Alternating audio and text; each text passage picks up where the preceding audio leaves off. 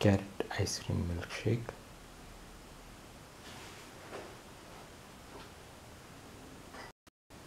Today we are going to make carrot ice cream milkshake.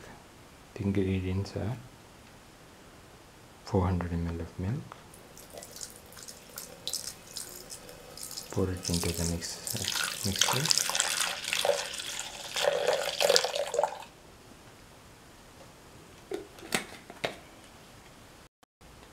the milk has to be boiled and cooled.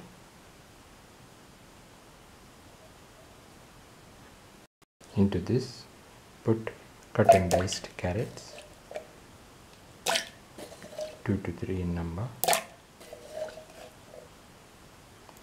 which has been cut into small pieces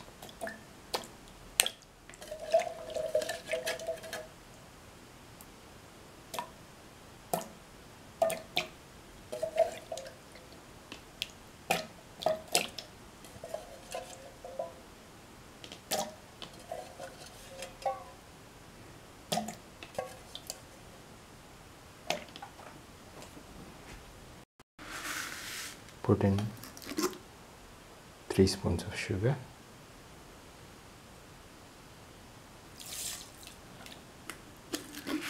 Put in a scoop of chocolate and vanilla ice cream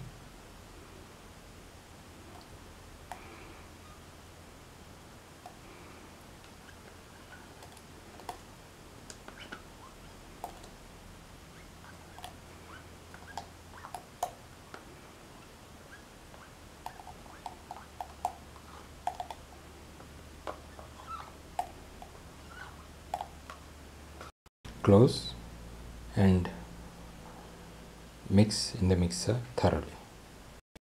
Now the carrot, chocolate, vanilla ice cream milkshake is ready. This can be served in glasses. This is the final carrot ice cream milkshake.